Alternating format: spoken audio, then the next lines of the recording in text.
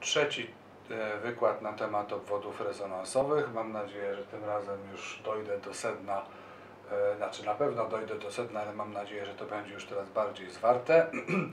E, I na tym zakończymy tę część zupełnie wstępną omawiania obwodów rezonansowych. Teraz podam przykłady i powinno być dużo bardziej to czytelne. E, w- Wagę e, oceniam jak, tak samo jak w poprzednich tematach, czyli to jest poziom zaawansowany. Mm, Trudność, no jak widać, oceniam mniej więcej 6 na, 6 na 10 i przydatność znowu 10 na 10, bo bez tego nie wyobrażam sobie, żeby można było e, robić e, jakiekolwiek rzeczy z obwodami rezonansowymi w praktyce bez jakichś narzędzi, które pozwalają e, no, zaprojektować w, naj, naj, najbardziej elementarny sposób zaprojektować obwód rezonansowy taki, który ma sens e, razem z resztą elektroniki. A jak już jestem na wizji, to dzień dobry. Mm, Poprzednie wykłady oceniam, że wyszły mi słabo na temat obwodów rezonansowych, ale wybaczcie. Tu na tablicy już, są, już jest przygotowana straszliwa tabelka, zaraz wytłumaczę o co chodzi. E, No nie zawsze jest tak, że takie tematy, zwłaszcza zaawansowane, łatwo e, wypowiedzieć, żeby były takie klarowne, więc zanudziłem tam Was wyraźnie, no ale trudno. Rzadko bardzo mam okazję mówić o tych rzeczach, więc to mam po prostu niewytrenowane. To nie jest tak, że, że mogę po prostu od pstryknięcia palca wypowiedzieć dowolny temat, w tym taki no dość nieoczywisty i trudny, żeby był tak klarownie podany. Pod tego się trzeba po prostu uczyć i e, kontynuując troszeczkę ten wstęp taki usprawiedliwiający, e, no powiedzmy jak wykładam takie rzeczy po, popularne, takie mm, e, elementarne układy e, z zakresu zasadniczego, typu nie wiem, wzmacniacz różnicowy, czy nie wiem, przerzutnik Schmidta, to to mam bardzo dobrze opanowane, ale to jest kwestia kilkudziesięciu godzin przygotowania, wielokrotnej zmiany sposobu tłumaczenia, więc e, aż się trafiło na takie sposoby, które dobrze działają, więc wybaczcie, że te, akurat te, te tematy nie są jakoś specjalnie przetrenowane. A co tu mamy w tej tabelce? Otóż korzystając z tego zespołu wzorów, czyli e, z wyliczenia L, C na podstawie RO i częstotliwości rezonansowej, mm,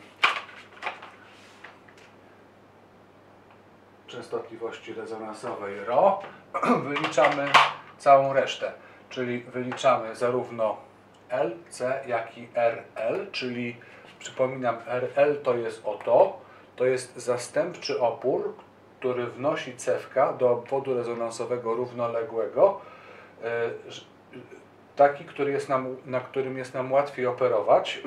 Przemiesz, przenosimy tutaj RS, czyli szeregową rezystancję cewki, tę fizyczną jej własność przenosimy jako e, e, postać, postać równoległą, bo tak jest nam łatwiej ten układ analizować.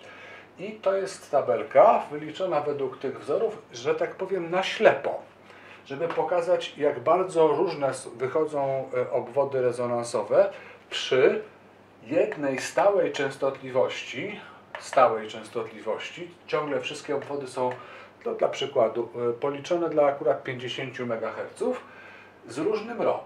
RO 10 ohmów, 100 ohmów, 1 kilo, 10 kilo ohmów. Tutaj są puste rubryki, żeby nie rozpraszać Was na razie dodatkowymi pojęciami. I tu jest taki właśnie bardzo prosty obwód. Mamy źródło prądowe 1 mA, tak sobie wyobrażamy, i obwód, który liczymy na 50 MHz. No jeszcze na wszelki wypadek przypomnę wzór Thomsona.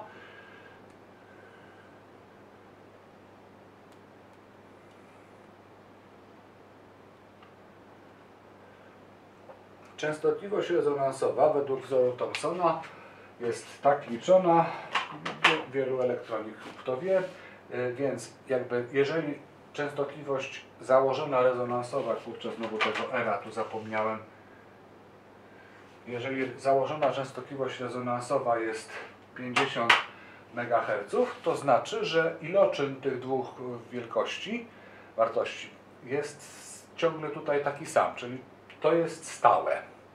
Natomiast to, co się zmienia w tych kolejnych pozycjach, to iloraz tych, y, tych y, wartości, czyli e, zobaczcie, na przykład tutaj jest tak, cewka 30 mniej więcej 2 nanohenry i pojemność 318 pikofaradów.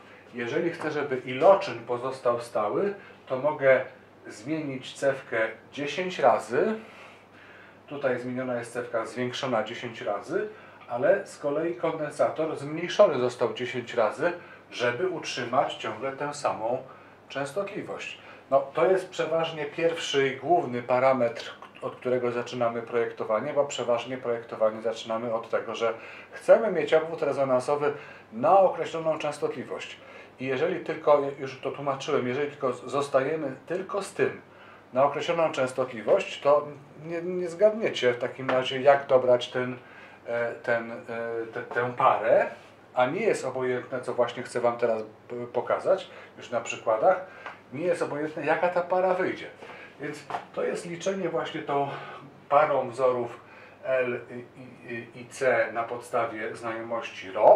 Tutaj jest przyjęte RO 10. Strzelałem w ciemno, tak żeby po prostu pokazać, jak będą wychodzić wyniki. Przyjąłem RO 10 ohmów, wstawiłem do tych obu wzorów i wyszło L takie, L takie i C takie. Rezystancja e, równoległa e, właściwie to to, co źle powinienem to był nazwać konsekwentnie RL. Przepraszam, tutaj zmieniam R, to jest RL.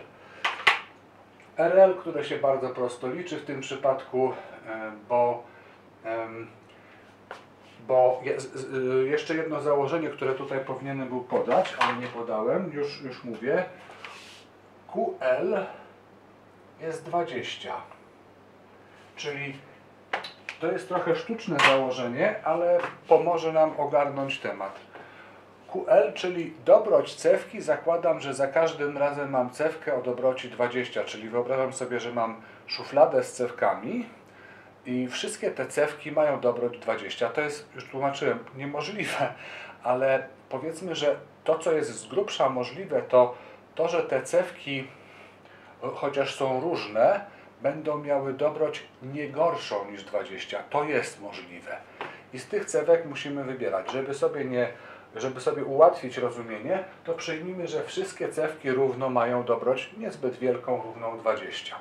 No w związku z tym tu jest ta dobroć po prostu wymieniona, bo to jest dobroć cewki przyjęta. E, I wyliczamy tutaj RL, czyli zastępczą rezystancję cewki, e, która, która się w tym momencie wylicza bardzo prosto, bo to jest RO, 10 ohmów razy 20, 200 ohmów no to się trochę bardziej skomplikowanie liczy, ale do tego służą kalkulatory. No i teraz zobaczcie, zacząłem od 10 ohmów, wychodzi mi RL 200 ohmów, e, e, potem przyszedłem na 100 ohmów, zwiększyło się R, zmniejszyło się C, RL jest teraz 2 kΩ, ta zastępcza rezystancja, cewka ciągle ma 20. Tutaj specjalnie wypisałem rubrykę, która się, że tak powiem, marnuje, bo wszystkie wartości są takie same. No i jeszcze zwiększyłem rok, kilo Wychodzi cewka już bardzo całkiem solidna, bo 3,2 mniej więcej mikrohenra, a za to C musiało odpowiednio spaść, prawda? Czyli C już jest tylko 3,2 mniej więcej pikofarada. Zastępcze RL jest 20 kilo No i wreszcie ostatni strzał, taki już naprawdę lekko w kosmos. 10 kilo RO, ale po prostu nie wiedziałem, nie wiedziałem próbuję. 10 kΩ chciałem osiągnąć ρ, to wtedy L potrzebne jest 32 mikrohenry, całkiem już sporo. Za to pojemność, zobaczcie, jest 0,3 y, mniej więcej pikofarada, więc to już jest pojemność, która no prawdopodobnie w typowym, prawdziwym układzie będzie mniejsza niż pojemność montażu albo przy, przy, bardzo, przy bardzo, bardzo starannym montażu będzie porównywalna z montażem, czyli z pasożytami tak zwanymi. Za to RL jest 200 kΩ. I teraz w takim układzie, bardzo prostym, przyznacie, że prosty układ, Zobaczmy, jak to się nam przekłada na e, no, coś w rodzaju, powiedziałbym, wzmocnienia tego układu, czy też w tym przypadku to jest bardzo takie, będzie upraszczające, no, amplitudy, którą uzyskujemy. Mamy źródło prądowe, które daje sygnał 1 mA, to jest sygnał 1 mA, specjalnie tutaj tą falką zaznaczam, że to jest sygnał, czyli w rzeczywistości to będzie po prostu tranzystor, jego kolektor, który będzie pracował jako źródło prądowe i będzie dawał ten miliamper sygnału. E, no bo jakoś tam ten pewnie to będzie wspólna baza na takiej częstotliwości raczej niż, niż wspólny emiter, ale to nie jest dzisiejszy temat, czyli to tranzystor kolektorem daje 1 mA sygnału. I teraz zobaczcie, w zależności od tego jakim, jakim rozstrzeliliśmy, jakie nam wyszło RL, to uzyskamy różną amplitudę. Dla 200 ohmów uzyskamy, e, bo amplituda zależy od tego prądu wymnożonego przez RL. Przypominam, dla rezonansu L i C znikają, a zostaje tylko to RL. Nic więcej nie widać, więc dla rezonansu widać tylko to. Miliamper na 200 ohmach odkłada 200 mV, ale na 2 kOhmach odkłada już 2 V, a na 20 kOhmach odkłada 20 V, a na 200 kOhmach odkładałby 200 V, gdyby oczywiście e, gdyby oczywiście to było w rzeczywistym układzie możliwe, ale to by znaczyło, że jeżeli byśmy mogli uzyskać RL 200 kΩ, to możemy zmniejszyć prąd i wtedy układ jest bardziej czuły. Czyli jak widzicie, przy takim prostym układzie wychodzi na to, że jeżeli zrobię bardzo małe RO, to i uzyskam całkiem małe RL. No bo to jest proporcjonalne, prawda? RL jest proporcjonalne do ρ, współczynnikiem proporcjonalności jest dobroć cewki. E, no i przy, taki, przy takim akurat małym stosunkowo QL, czyli równym 20, kurczę blade te oznaczenia to jest moja, moja słaba strona, tu powinno się, to się powinno nazywać konsekwentnie QL. Dobroć samej cewki jest ciągle 20, 20, 20 i RL jest takie, czyli daję małe RO, to mam małe RL stosunkowo, no i wtedy mam małą amplitudę, tylko 200 mV. E, teoretycznie, pomijając to, że to źródło jest już ustalone 1 mA, to jest tylko tak dla ustalenia uwagi i tutaj wychodzi absurdalna wartość 200 V, no to po prostu znaczy, że mogę uzyskać 2 V przy, e, przy 100 razy mniejszym prądzie. Super, czyli układ się robi bardziej czuły. Bo łatwo nam jest zmniejszyć amplitudę sygnału, może wchodzić, nie wiem, sygnał z, z, z, anteny jakiś bardzo mały i w ten sposób, gdybyśmy mogli uzyskać tu sensownie R, RL 200 kΩ, to wystarczyłoby 10 mikroamperów, żeby uzyskać solidną amplitudę 2 V. E, więc ten wydaje się najkorzystniejszy, tylko że oczywiście mam nadzieję, że rozumiecie, że z tym będą ogromne problemy. Nie zrobimy tak naprawdę sensownego, sensownej pojemności takiej, bo y, montaż się wtrąci i doda swoją pojemność pasożytniczą. No ale być może o ten byłby jeszcze realny. 3 pikofarady to ciągle jest mało, to, to, to już jest porównywalne z montażem, ale tutaj jeszcze by się to dało przy dobrym montażu ogarnąć oczywiście z jakąś możliwością dostrojenia do tych akurat chcianych, e, żądanych 50 MHz. Mam nadzieję, że to widać. Zobaczcie, że cała, cała operacja sprowadza się do zmiany stosunku L do C przy stałym iloczynie.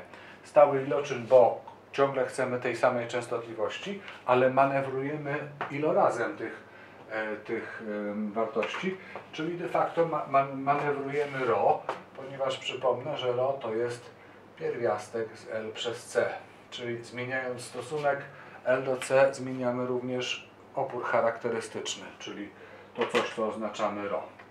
No i mam nadzieję, że to jakoś widać. A teraz dlaczego tu zostawiłem puste rubryki? Ano dlatego, że praktycznie nigdy nie mamy takiej fajnej sytuacji jak tutaj. Tylko zawsze musimy się liczyć z jakimś obciążeniem.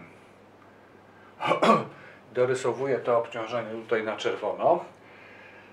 I teraz y, ten wykład akurat nie jest o tym, co to może być za obciążenie. No na przykład wtórnik za obwodem rezonansowym. Obwód rezonansowy równoległy najlepiej działa wtedy, kiedy jest pobudzany ze źródła prądowego, czyli czegoś, co ma nieskończoną rezystancję albo bardzo dużą, jest nieobciążony, czy, czy też obciążony bardzo dużą rezystancją, bo wtedy można uzyskać duże dobroci. Ale uwierzcie mi, to będzie, to jest temat na oddzielny temat, no, to jest temat na oddzielny wykład i to zaawansowany, bardzo zaawansowany. Nie jest łatwo uzyskać dużą e, rezystancję obciążenia na dużych częstotliwościach. Więc może na 50 MHz to jeszcze by się dało tak, bo ja wiem, 10 kg może by się dało zrobić, 5 kg, e, przyjmijmy 5 kg. Uwierzcie mi, że dużo więcej się na częstotliwości 50 MHz zrobić nie da. Pewnie myślicie o wtórnikach fetowych, że wtórnik fetowy przecież ma gigaomy. Tak, ale to na częstotliwościach akustycznych i trochę wyżej. Ale już na 50 MHz e, prawie na pewno te fety, które znam, zostaną wyprzedzone przez wtórniki z bipolarnych tranzystorów ze względu na pojemności. To nie jest temat na ten wykład, nie można wszystkiego na raz, żeby nie mącić, więc uwierzcie mi, że 5 kΩ, może na, nie, na 5, nie na 50 MHz, ale na 200, 5 kΩ to jest bardzo dobry wynik.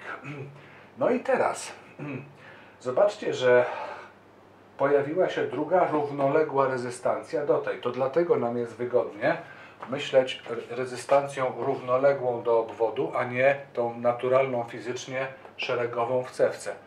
Wyciągamy ją tutaj i teraz widzimy, jak one się łączą ze sobą w, jeden równoległy, w jedną równoległą rezystancję.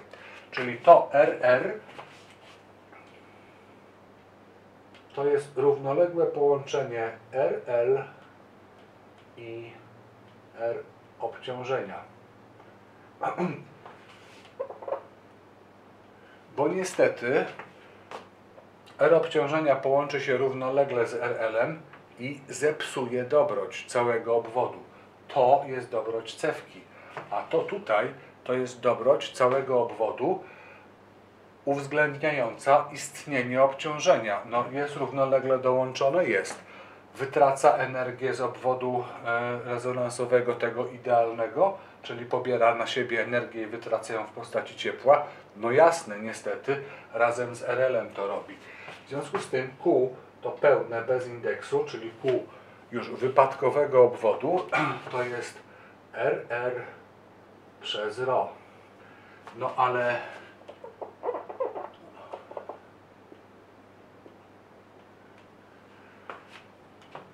No ale RR siłą rzeczy RR zawsze będzie mniejsze niż RL, czyli RL tutaj na przykład zobaczcie, tutaj jest takie super mocne RL dające duże amplitudy, duże wzmocnienia y, 200 kiloohmów, ale co z tego, że to jest takie duże, jak obciążenia ma tylko 5 kiloohmów, więc równoległe połączenie będzie bliskie 5, 5 kiloohmów.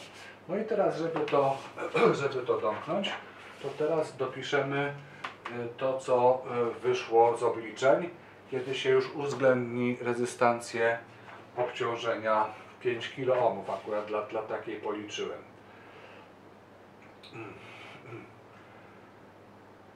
To cóż, tutaj jest 192 ohmy. Nie najgorzej, prawda? A Q jest 19,2. Czyli no dobrze, wypiszę może najpierw całość.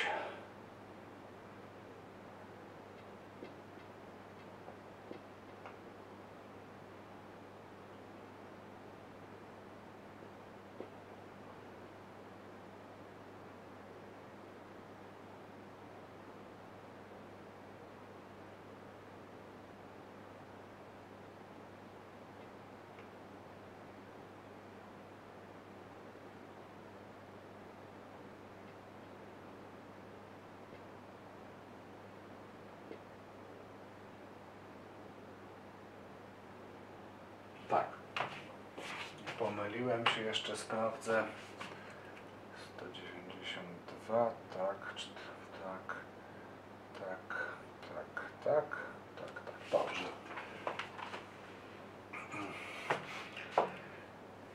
Zobaczcie, że w zależności od tego, czy mamy do czynienia z małym RL czy z dużym RL, wpływ jest tego obciążenia większy lub mniejszy.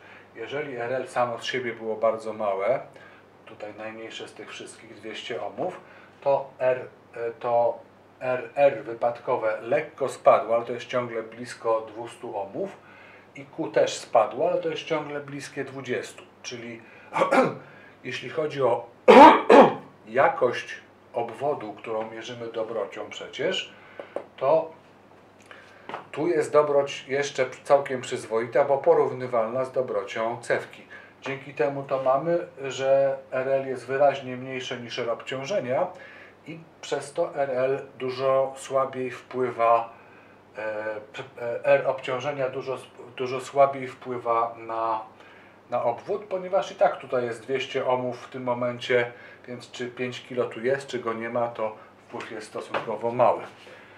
No już tutaj się zaczyna trochę gorzej. Wprawdzie RR tutaj wzrosło, więc będziemy mieli wyższą amplitudę, ale Q spadło. Jeszcze, jeszcze ciągle 14 to jest jeszcze ciągle całkiem nieźle. 14 to jest jeszcze ciągle całkiem nieźle. To wprawdzie już nie jest 20, ale już przy obciążeniu nigdy nie będzie 20, prawda? To jest jeszcze całkiem do, do, sensowna dobroć w zestawieniu z tym, co ma sama cewka. No i mamy już powiedzmy amplitudę, tutaj mamy w tym momencie 1,4 V, czyli no, chyba ten obwód jest do wykorzystania. Tutaj mamy RR jeszcze większy, czyli tutaj możemy uzyskać 4 V amplitudy, ale dobroć już jest niestety no, taka na granicy akcept, akceptacji. Znaczy, no, to jest jakaś dobroć, ale no już słaba. E, no i ostatni wynik jest kompletnie nie do przyjęcia. Zobaczcie, mamy tutaj wprawdzie najwyższą amplitudę prawie 5 V, bo tu jest 4,88, czyli prawie 5, ale dobroć jest poniżej wszelkiej, e, wszelkiej krytyki, bo to jest tylko pół, e, co właściwie oznacza brak dobroci. E, na wszelki wypadek to, to jeszcze ciągle jak się narysuje charakterystykę, to ciągle wygląda jak dzwon.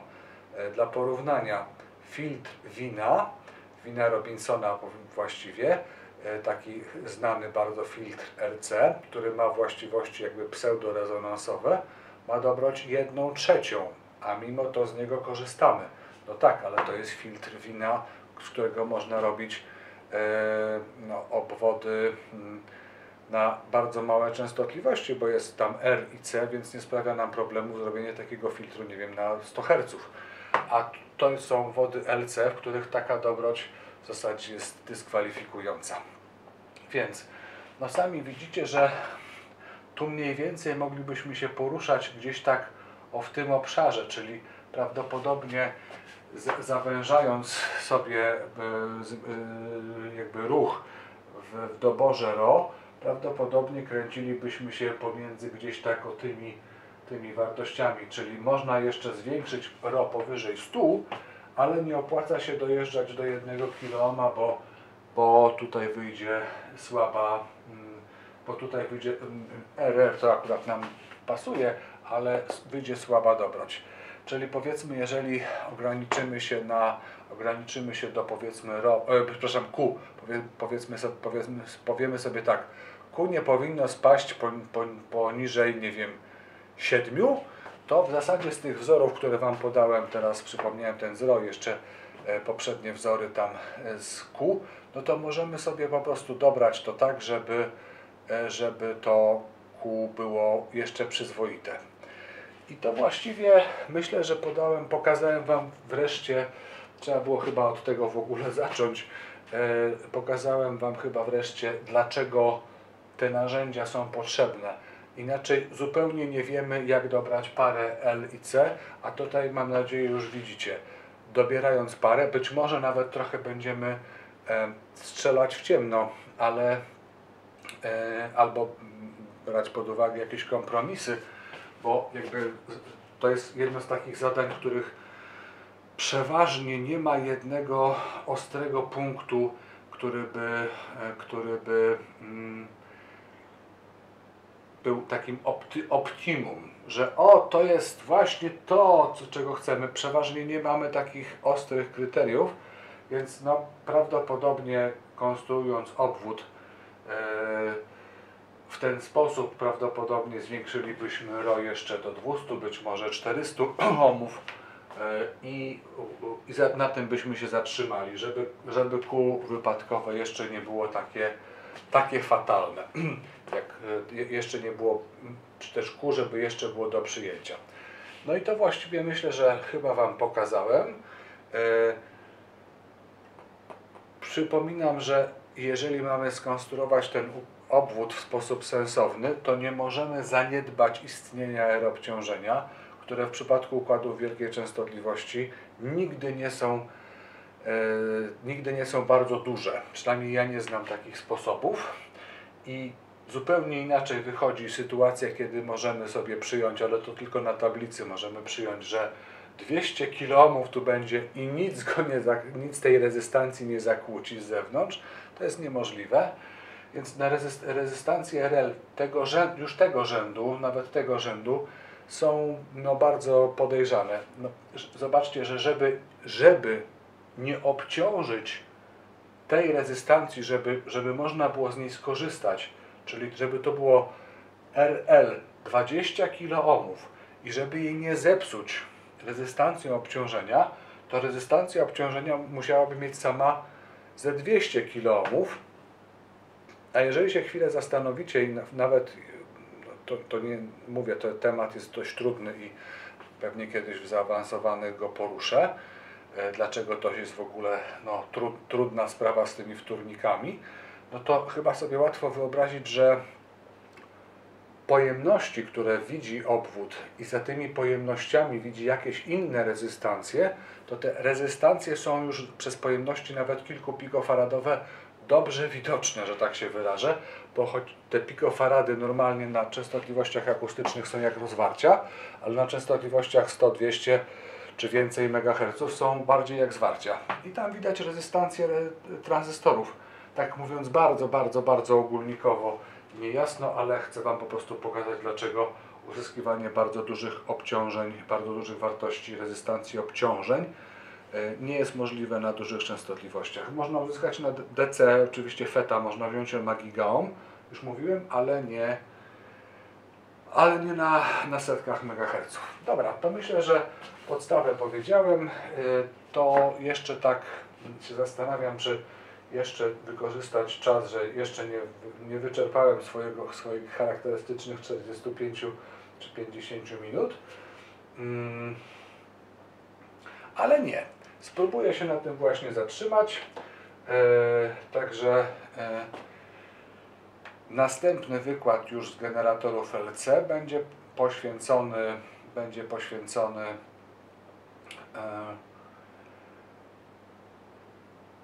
wzmacniaczom rezonansowym, właściwie wzmacniaczowi rezonansowemu, takiemu najprostszemu w układzie wspólnej bazy, w którym to coś już zamieni się na tranzystor, Pokażę Wam, dlaczego wzmacniacze rezonansowe potencjalnie mogą mieć bardzo duże wzmocnienia y, i że w nich nie zachodzi to coś, do czego jesteśmy przyzwyczajeni, to znaczy wymiana wzmocnienia na pasmo.